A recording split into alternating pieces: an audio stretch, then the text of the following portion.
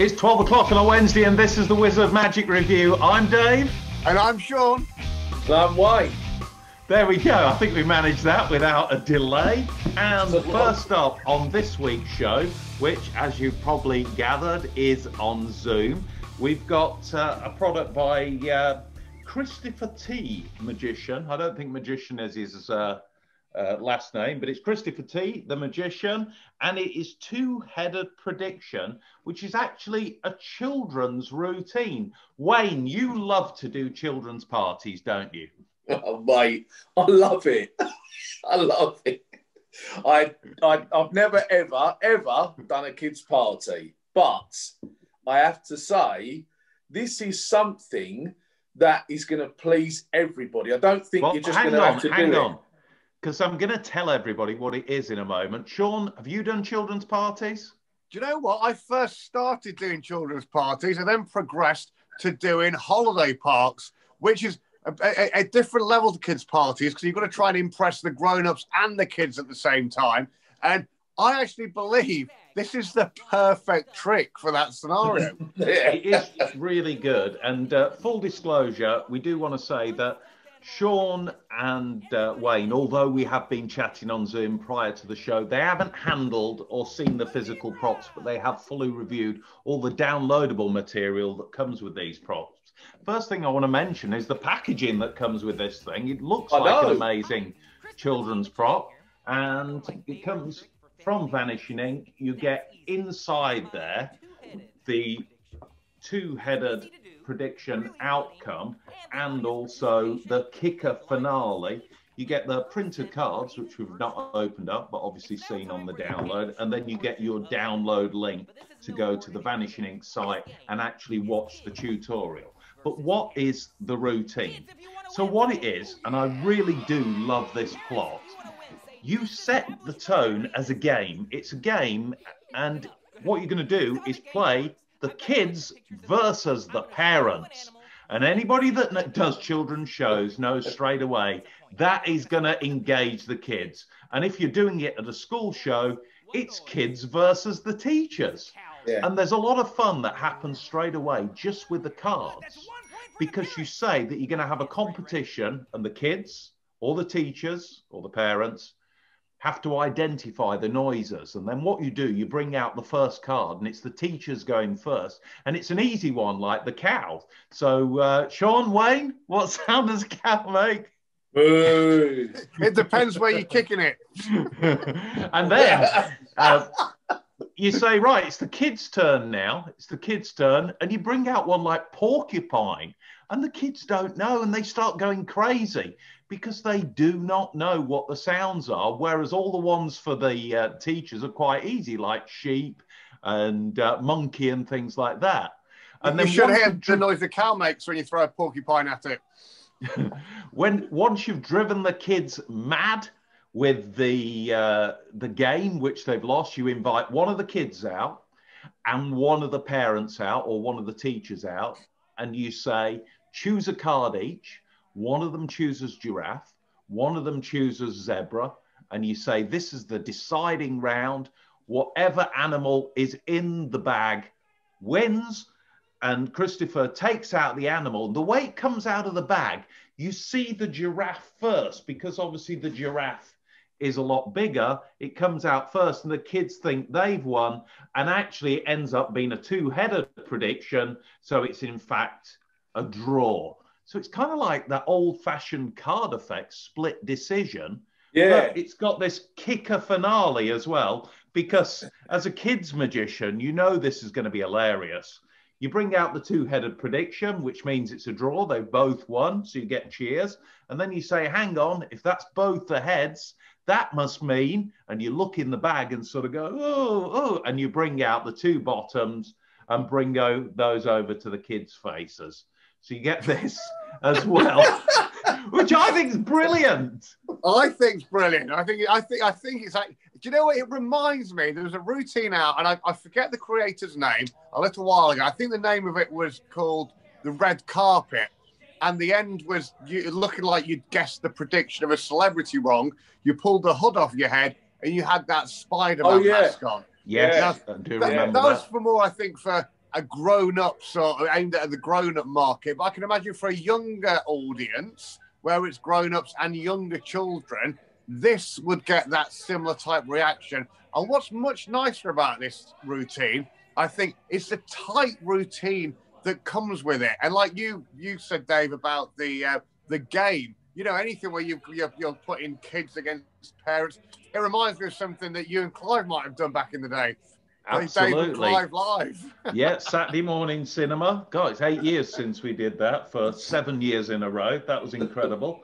Uh, but it really is great. I love the whole routine with it. And I love the fact as well that if you'd got that very awkward age for a children's party, like three and four year olds, which are a bit too young to somehow understand magic fully normally, they'll understand the game, they'll understand the noises. So if you've got a family show that you're doing and there's really young kids and older ones, this is going to, you know, they're going to appreciate it at every single level, whether they be really young or a little bit older.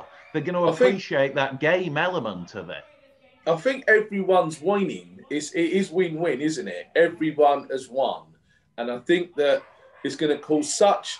Um, Uh, it's like pandemonium, but organised pandemonium, as they're all shouting across at one another. And when they bring it out, no, there's not been one team where it's just going to bring the house down and everyone's going to be against one another. Everybody's won. It, it's both the same thing with that little kicker thing at the end with the bottoms that come out. I, I actually think it's a really very well structured. The artwork on the box is crazy good. That is brilliant. Yeah. It's really good. And the props are really great quality as well. You just need to supply your own bag for the prediction to go in. And how many times do we say this, guys, on the Wizard Magic review? so good to see a full performance. And it shows Christopher at a kids show. Yeah. And I think the whole routine was just shy of sort of six, seven minutes. Yeah. So it's a full routine. It's lightweight to carry. All the props are quite small. And it's great entertainment for a family audience. The only reason I'm not going to give it above 90 is because I don't do children's shows anymore. Me too. If mm. I did, I would have this in a heartbeat. But I'm going to give it 89% exactly, which is the highest mark I could give it, even though I'm not going to use it myself. Wayne? I'm going to do the same, Dave. I've never done a kids' party. I've never done a kids' but The closest I've ever done to any kids' magic is when I've done a residency and there's been kids at the table. Um, however, in saying that, this clearly is a brilliant, brilliant piece of magic and I think it does still deserve 89 from me as well, mate. Sean? Yeah, well, let's say I don't do kids' parties either. However, I am going to do exactly the same as Dave and Wayne. I'm going to give this 89%. I think it's brilliant, and congratulations to the creator. It's a great job. Next up on the Wizard Magic review, we've got something we are discussing very, very briefly because you can find all the details at worldmagicshop.com. It is an effect that World Magic Shop released at Blackpool this year, and it is called Streamlined. But it has had a really exquisite upgrade because World Magic Shop have been working with Gerard Kearney of the Secret Tannery. And Gerard has produced these wallets. And guys, this is the first time you've seen it. This is the new Streamline wallet designed by Gerard Kearney. And it looks fantastic. Looks amazing, Wayne, mate. It's incredible. You, you saw me demonstrating this effect at Blackpool, and it was great at Blackpool this year to have such a great product. But the fact that Gerard's brought his design to the table. The quality of the leather. It, look, it looks good. That lining, the lining, everything. You know, it's going to be good quality anyway. But I mean, that's it. Honestly, Dave, I know we're mates and everything. You're bound to say it, but I'm genuinely, it really is a beautiful, beautiful little prop to be carrying around. And I want to mention something as well. I will just show you what it looks like as well. That the great thing is about this wallet, this wallet can be out in view for the whole performance. You can put this down, yeah. and at Blackpool, I was balancing it on top of a glass or a bottle that I had on the table and I was just leaving it there. And for me, the fact that the prediction is out in the open from the very start is a really strong thing. The spectator starts with a full deck of cards, they eliminate cards fairly, they make all the decisions themselves. Then you open up the wallet, you say inside there's a card, not my business card, that is better than that. There's an envelope, and say they choose the Jack of Clubs. You go in there and you take out the card they named, and the envelope is completely empty. That is the effect on the spectator. One wallet, one envelope, and one card, and it's their card. It's the card they choose. Yeah. But since recording the tutorial for the original Streamlined, and this was before it had the secret tannery wallet with it, which like I say, is incredible. The quality is second to none now. I came up with something else, and this for me takes the effect to a new level. You've got your business cards here, which I mention when I open up the wallet, because as Wayne says, it's a gig getter, because you're mentioning the fact that you've got business cards. But say they choose the Jack of Clubs, here's what you do now, and this is fully explained in the new tutorial that you get with Streamlined, or you can use it with the old Streamlined. If you go back and check the tutorial again, I will have updated it. You take out a business card at the end and you just put the business card down on the table. It's only when you walk away and they look at your business card and turn it over that they realize there's a message on the back. And the message says, Don't worry, everyone always picks the Jack of Clubs. So now there's a story attached to that business card. It's a personal prediction for them. And remember, when they had a free choice of every single card in the deck and they decided on one card, and then you're leaving your business card and saying, Don't worry, yeah. everyone always picks the Jack of Clubs. You've got that kicker, that extra bit of magic that they will always associate with your business card and very easy to do. The wallet does everything for you, working in a very similar way to the envelope that's provided. But that means now that you've got two effects for the price of one. Not only is it, is it a gig getter, like Wayne says, when you leave them with the business card, they're always going to remember you and the fact they could have chosen any card at all. Yeah. You can find out all the details about the new Streamlined in association with Secret Tannery on the website worldmagicshop.com for this week only. Just for this week, it is at the introductory price, which is £10 less, but that is just for this week. You can get it £10 less than its new price, which will go on to follow after the Black Friday weekend. So go to worldmagicshop.com. The link is in the description. But now, guys, we had the Magic Circle unlocked last week. And I know you all watch with me. It was a five hour event. I'll yeah. be talking more about that in a second with our first special guest on the Wizard Magic Review this week. It is Robert Pound, the examination secretary of the Magic Circle. Welcome, Robert. Hello, sir. How are you? It's good to see you. And uh, what is an examination secretary? Well, basically, the examination secretary does all the work to make sure when people join that it actually happens. The, the member does all the, the, the applying, but all the back, back room work, arranging it, interviewing, and sorting everything out. That's done by, by myself and Roger Curtis. Wow. And you head up quite a team, don't you, of people that are there to help new members to apply? We've got about 40 examiners that uh, help us. Wow. And uh, can you let us know? Because it, it, wasn't quite clear on the Magic Circle Unlocked show, which was a fantastic show. Anybody can go and look at that right now. Uh, you go to Magic Circle Unlocked on Facebook, go to that page, and the live broadcast, which lasts five hours, is available for anybody to watch. People were trying to win membership. I believe that competition is closed now. But what if somebody just wants to join the Magic Circle, Robert? You're the man to ask. How do they go about joining the Magic Circle? Well, the easiest way to join the Magic Circle is you go onto the Magic Circle website, www.themagiccircle.co.uk forward slash join us, uh, join hyphen us, and you start following out, following out, filling out the form and going from there. What you'll need is you'll need the membership number of a couple of members that you know. If you don't know anyone, that's not a problem because it'll become Roger and myself. And once you've filled out that form, you sit, hit submit, and that gets sent to Roger and myself and we will contact you and arrange to do an interview. And what? So, what's an interview? Uh, like a job interview? Can you? Well, no, no. It's it basically it's to prove that you know about magic because anyone who wants to join the magic circle needs to know a little bit about magic. So, knowing about about magic when I, if i ask you who your favorite magicians are that gives a real big insight into the type of magician that you are and, and your interests that you have. So we ask questions like who are your favorite magicians, your favorite books, when did you start doing magic? Uh, and and things along those lines. And then at the end, we get you to show you us show us a magic trick. Now, the thing about the magic trick is this: it's not about tricking you. Some people get really nervous. It's nothing to do with that. It's really about getting an idea that you do know what you're talking about. Now, and uh, a lot of people think that a, the Magic Circle is just a club for professional magicians. That's not the not. case, is that no. right?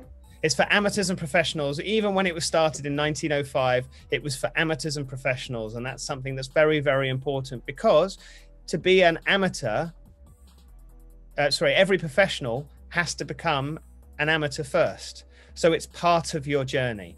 And we all start from somewhere, and everyone at the Magic Circle loves magic. So it's it is a big fun group fundamentally, and uh, that's that's the most important thing.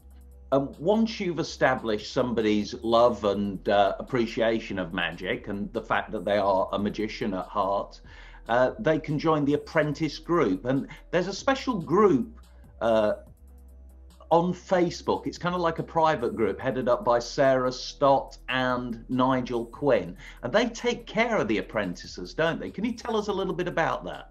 I have to say, the apprenticeship group is absolutely fantastic. And I think it's a, a really good initiative that we have. It, it is a, a group of uh, all the apprentices get the opportunity to join. And all the apprentices look out for each other, but obviously they get people to come in and talk. I know you've been in there, I know I've been in there, and some of the other examiners. And it, it is an opportunity for apprentices to get the experience and the knowledge they need to be able to pass their exam. One of the things um, the apprentices can do is once they've done, you know, they've practiced their act, they can upload it on there and they basically get critiques by their colleagues and people will turn around and say, Yeah, you're ready to do your exam. And I'm really pleased at this precise moment, since we've started doing Zoom shows and people have been utilizing this process, currently no one has failed. That's incredible. Now, you say the word exam, that just takes me straight back to my school days. It's a scary thing for most people doing an exam with top level magic professionals potentially judging them. Uh, I know I've seen the lineup of examiners on certain occasions. I've been very privileged to be one of those examiners. What do people expect from an exam? Is it something that is an incredibly scary thing? I, I, think the reason that it's scary is the pressure that we put upon ourselves. You know, you and I, we're members of the Magic Circle, and we know, you know, we know what it is, and we we realize. But when it's your goal, your dream, that, that castle on the hill that you want, you put your own pressure onto it. And the way to get over that is to rehearse what you're going to do. If you practice your act and you put the time in, by the time you actually do perform it, the muscle memory that you have as a performer means that although you may be slightly nervous, your performance will thrive through what you're doing. It's great advice. So at the end of the day, join if you've got a love for magic even if you're an amateur, even if you're a semi pro or a professional, go to that website. What's the website address again, Robert? It's www.themagiccircle.co.uk forward slash join hyphen us. And we'll also leave that in the description of this week's Wizard Magic Review. Thank you very much for joining us, Mr. Robert Pound, the Examination Secretary for the Magic Circle, the world's most prestigious magic society. Thank you, Robert. Thank you so much. Next up, we have Gleam by William Alexis Houcke. I believe that's how you pronounce his uh, his last name. Sean, can you synopsisize this, please? Yeah, oh, it's a card trick, so I'll be I'll be all right to do that. So you take um, a blank playing card that's then in view from the whole time, and you have a, like the lights um, ready to go on the back of your phone as well, or a pocket torch, whatever you want to use. Um, you can it's as simple and direct as this. You ask a spectator to simply name any playing card, and then you turn the torch on, and you hold the card um, face down um, over the torch and through the back of the playing card, you actually see a shadow appear. I can't and get it to work. Shadow, that shadow being expertly demonstrated by our professional demo my, magical maestro David there, through through the card, the shadow, well, through the light of their card actually appears lit up. Now, that is a dream effect, and that is what is written on the back of the box. Um, now, it, it, sounds incredible. And if it was that any card named appears lit up there, there, there is a couple of snags um, with it, in my humble opinion. Now, we're not going to expose method or anything like that, but it's very complicated, shall we say, to, to make it look very smooth and to get the things right that you need to get right to make this happen. Okay. And even if you do get it right 100% of the time, some of the outcomes aren't necessarily as clear as you would want them to be. So for me, the, that's the main criticism. Yeah, yeah. And so, and it, and so I, I think the actual when you see the routine and, and handle the prop, the actual impact that this leaves with people, I don't think it's worth the work that you're going to need to put in learning to do certain things to achieve the effect. Like we say, it doesn't even look perfect 100% at the time, even if you do it perfectly.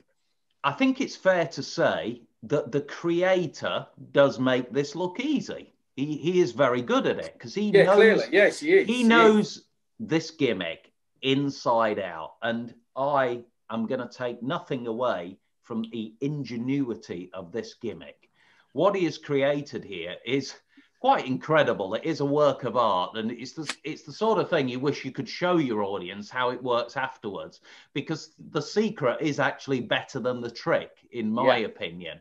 Uh, but what uh, what William tends to do is hold the card up like this, and then in the action of switching the card from hand to hand and just talking a couple of times, he can very effortlessly get the card ready to display that shadow. And like Sean says, it is any card named. It is incredible that it's any card named, will be in the shadow of that card. But at the end of the day, when it comes to things like the 10 of spades, it's not that clear. It's not as clear as, say, a three. And even, even a three looks kind of blocky yeah. it's not really clear. What do you think of it, Wayne? You do a lot of card magic. It, it, do you think you know the what? effect is worth it? You, you hit the nail on the head. It's one of those things you do actually want to go to the audience afterwards and say, look how this thing works, because the, the, the mechanism is is better than the the actual effect for me. It looks pixelated, you know, it looks like a pixelated digital readout uh, on there for me, and I it's a lot of work. I mean, spending a lot of work for such a small effect. Just was that your card? There's so many other ways of having a of, of revealing somebody else's card in a much more entertaining fashion. Um, but Wayne, you're missing the point. We've been on lockdown and things like that all over the world for such a long time. What else was the creator going to do with their time other than design a very complicated trick playing card? Do some technical sleight of hand instant downloads. They're the ones. They're the ones. There, there was some filthy downloads. Yes, that's what you're after. Those I suggest you get them. with, with, some filthy moves. You're not biased at all, Wayne. No. Wayne, I think I think we've talked about enough this enough. I am in agreement with you guys. I don't think the effect at the end of the day is worth the effort. Although I appreciate the ingenuity of William, uh, I don't think it will be something yeah. that I'll ever use. But you do look at the gimmick and say that is very, very clever, even though the effect is, oh, isn't worth it's all the effort.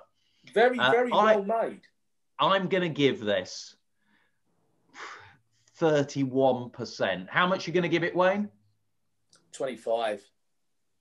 Well, I'm going to split my, my scores up so into thirds. So 33%, 33%, 33%.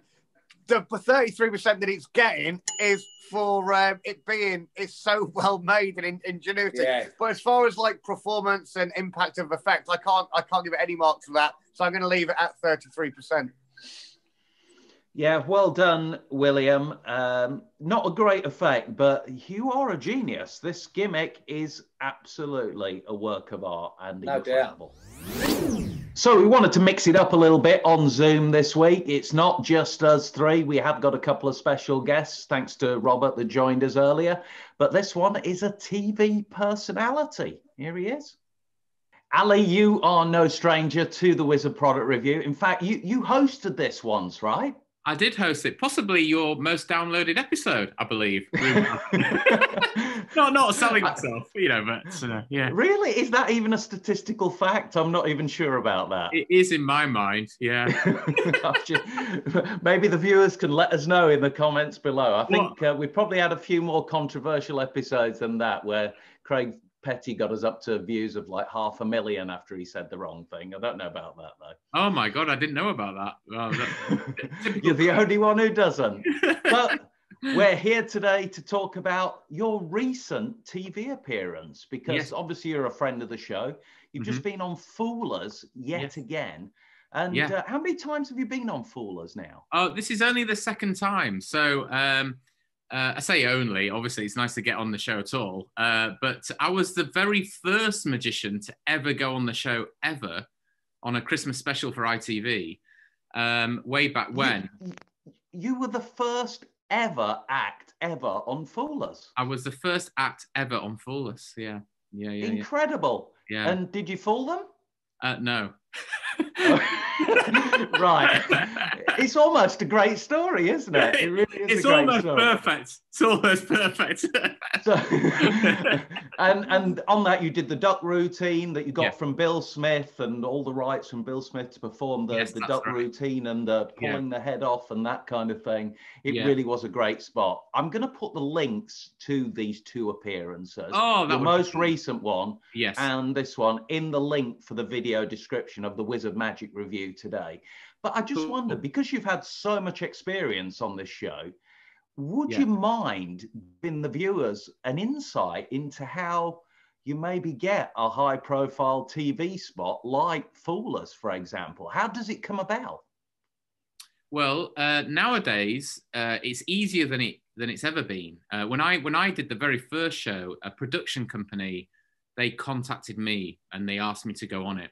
Uh, much more like a traditional sort of TV show where you don't even know the show's being made. Out of the blue, someone contacts you, and then the, every TV show you just got to remember every TV show has an agenda, and what you see on the screen is not necessarily why they book you. And I I think when you're pitching for these shows, you have to, if you don't get that show, you have to understand that it's not always about your acts. There's lots of things going on. Like, I'll give you a bit of an insight. The chicken and the duck routine, they loved it because it didn't clash with anything.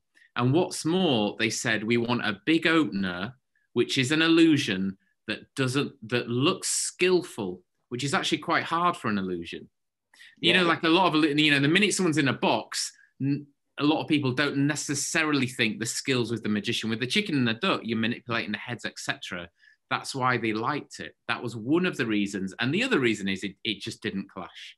So I think that's one thing. And then the second thing is when nowadays you can actually pitch, there's an email to pitch to Fool Us. They invite anyone. And I think what Fool Us really is, it, forget about fooling them. It's just a framework for a magic variety show, but that's the key word variety. They're going to get 10,000 people submitting an ambitious card or a variation on it. You know, or what they want is they want to see something they haven't seen or no one else does. That's what it is. That that that's so. Even though people go on and there was a I saw a Spanish guy doing sponge balls. He did the sponge balls in such a weird way that they were like, "We've got to have it." And and I think that's the number one ingredient, basically. And um, so Blamo's just getting a Blamo wants to see you. There you go. He's getting in shot. There you go. Right, Um, Blamo. So you mentioned that you were on the first ever season. Yeah. I think it's well known now amongst magicians and laymen alike that Penn and Teller, well, Penn especially, talks in code when he's revealing that he knows whether you've fooled them or not. And he kind of lets the artist know on stage, we kind Yeah. of know what you're doing there. When you did the first ever one, were you told that by the production company No. or was it a bit scarier than that? Uh, the, the, the very first Fool Us was unbelievably nerve wracking. No, we, we were all crammed in a room. Everyone in the in that first special, no one had a clue what was going on. All we'd been sent was an email saying, "Penn and Teller, try and figure out your trick." They may even look at your props and discuss the method. So no one had a, so like we were like like and especially at that time, um, you know, TV TV's changed now. Um, uh, for, for various reasons. But back in that day, that what this would be like 2011, TV was quite cruel. If something went wrong on TV, that would get more hits online. And so Yeah. we were all very, very nervous, except they filmed it out of sequence. So Michael Vincent filmed before me, and I actually secretly peeked through the curtain. And they were so nice and they were so charming towards him. Suddenly, I got the confidence uh, and then I was okay. Uh, That's and then really interesting. yeah, yeah, but the, the but at first that that format on paper sounds terrifying, but we all know it's actually a great format. And your latest spot Mm. was you, you said about being unique and creating something that was different, maybe not a card trick or not doing sponge balls the usual way. Your latest spot was certainly unique, a little bit Yeah. off the wall. How long did that spot take you to create? Uh, well, this is the thing with magic is uh, I deliberately pitched that item because I knew that one of the things they go for is unusual items. So I deliberately chose that. I, I'd done that routine not to that full extent on tour twice. And uh, but originally I used to just do the snake with a load of jokes and then the dice routine three times. Then I realized it wasn't strong enough. And then I had the idea of mixing it like with a Karan's medallion type effect. And then it got stronger. And then after that, then then, then the hard job is coming up with the jokes. Um, and that that routine, I probably worked on it for about four years, on and on and off for four years. Wow. Yeah. Four years, that's incredible. And if somebody's got an idea that they would want to put on Fool Us, especially if it's an original idea, presumably you'd advise them to go for it, right? Yeah, I think that like um, I think one of the biggest problems in magic is there's far too much discussion, and what you should do is just go for it and find out. You know, we I, think the whole lecture industry exists because everyone's a bit frightened. You know, you know, you go out and do a show, and someone might just go, "Oh, "I didn't like that trick." Well, that's it. That that's the truth of it. Like, and and you just actually have to go out and find out. You know, and I know when you start doing table hopping you do some shows and some shows go brilliantly you don't know why. Some don't you don't know why. But the point is you just keep going. And and it's the same with all these shows. Like we Fool Us there definitely is a price on originality. They, that's they want to see something a bit different. But Yeah. if you've got something and it doesn't have to be the actual trick it can be like in my case the presentation. So you know just try and come up with an unusual angle or a new trick and just submit it. You just never know Well, that is certainly inspirational advice from somebody that's been there and done it. Ali, we're going to put the links to your videos in the description for our show. And how can people follow you on the socials? Uh, yeah, so if you just put up uh, Ali underscore Cook, uh, I'll come up on Instagram, Twitter, and Facebook. Brilliant. Ali, thank you so much for joining us today on the Wizard Magic Review. Is another Magic Circle member now that's got a review on the Wizard product review. This is his latest product. It is called Pick Your Poison. It's by Erick Olson. Erick is a member of the Magic Circle, but that's not going to change our opinions at all. One thing that would have changed my opinion, but I'm glad to see that he has sorted it. He has finally got the hang of putting a direct and simple password as the link to download the tutorial. because the last product, oh my goodness, it was it was crazy the amount of times I had to type it in last time. But now it's something simple and just a few numbers was like a- for it was the, like a for the Vimeo link. so it's about a t- it's a 16, 17 minute uh, video tutorial you download off Vimeo. But Wayne, I know you've been looking closely at this. What did you reckon to it? Can you synopsisize it? What is Pick Your Poison? So you take out three uh, beer mats uh, from a little wallet, and as you take it out, and they've got uh, written on there three different types of drinks. But in left in the wallet is a twenty dollar bill, which he leaves on the table, and he places now the three mats on the table, and you get them to choose one very openly, any Yep. drink that they want. they're And it really is a free choice, isn't it? It really There's is. no they force. can choose anyone they want, and then later on, he shows you that he predicted it correctly, so that he didn't win his twenty. You you aim a drink every single Yeah. time.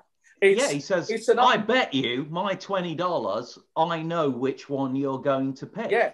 It and really every is. single time you will get it right. you will not get it it's- wrong. It- It's, down to a well-known principle in magic. This reminds me of something that we looked at a couple of months ago on the Wizard Magic Review, but it was business cards, and mm. the props certainly weren't quite as good as these, I would say.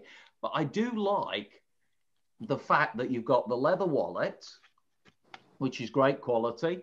I like the beer mats as well, and I like the fact that the hook is the drinks, and I Yeah. like Erick's patter where he says, Now you might think it's obvious, like Sean, you would probably choose beer all the time, or you might choose wine.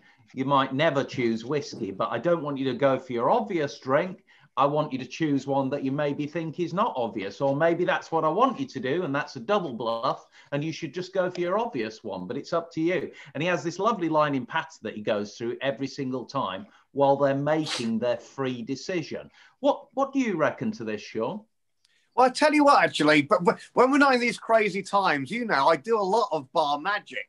Um, Yeah. I have a couple of residencies at bars, and I'm always looking for things. So I, I'd always do a bit at the end of the night where it's not me just walking around the bar, it's me behind the bar. And you get a lot of regular customers in. And this is exactly the type of thing that if it looked like I could just grab behind me and pick three beer mats from the, you know, off the bar behind or whatever, it look impromptu, and then I do something incredible. I think it's really good and fits the environment very well of obviously being in a bar. You know, I don't think you'd pull these out of your pocket uh, a children's party. It wouldn't fit the environment, but in a bar setting, especially if it looks like the beer mats are from the bar, this is a miracle.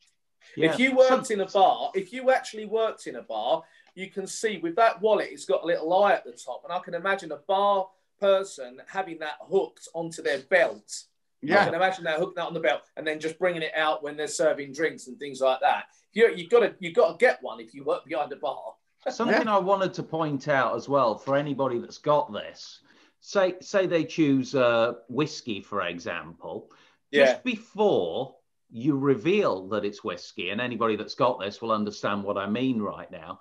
You can actually display these like this in a really fair way just before putting them down. And that's not explained in the tutorial, but I really like that before you actually reveal it printed on the back of the wallet, as in this case, Yeah. Mhm. and you you would pick the wine.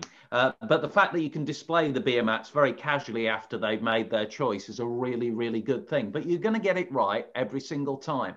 Mm. Something I thought of, which happens quite often. I know Sean, like me, does a lot of trade show magic, and quite often during the day, they'll book you as a trade show uh, entertainer to bring people over to the stands. But they'll have something where they'll open up their stand for exhibitor drinks. And it's the sort of thing I could see you mentioning to your client and say, oh, while while we're at the exhibitor drinks and we're serving people drinks at the trade show, maybe I'll do a couple of unique effects there and you're giving extra value to your client. And it seems to be that you've themed effects around drinking and the exhibitor drinks part of the day. Yeah. And it seems completely separate to your trade show set that you did during the day. So, whilst you're kind of acting like a host on the trade show stand, you're welcoming people onto the stand and then you're saying, What drink would you like? Oh, imagine I could guess what drink you would actually choose. In fact, I'm willing to bet you 20 pounds, 20 dollars, yeah. and you don't have to use the dollars inside. You can, it's not real as well. You don't get 20 dollars free with it. You you can just use any banknote for that and it will work. But yeah, I really like this. I really like the idea of using it on a trade show stand. I can't see me using it anywhere else, but I would certainly like to give it a go in those situations. I'm going to give this 91%. How much are you going to give it, Wayne? You know what? I I want to give it more because uh, because it's well worth it. I'm not going to be able to perform it in my environment that I work in though. So I am still going to give it 89% though.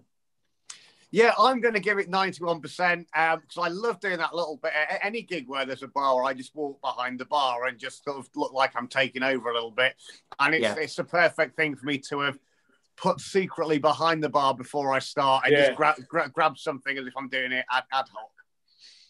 Well, it's not going to take up any space in your case. It's another winner from Erick Olson. And I think Erick Olson's closer, what did his closer get on the last Wizard product review? That got quite a high mark, didn't that it? That got a very high mark. I can't remember exactly what it was. Was well, it 100%? Um, yeah, that, that show's got more finales than Les Mis. It's incredible. Yeah. uh, that Drake rather has got more more finale. Um, that's it this week for the Wizard Magic review.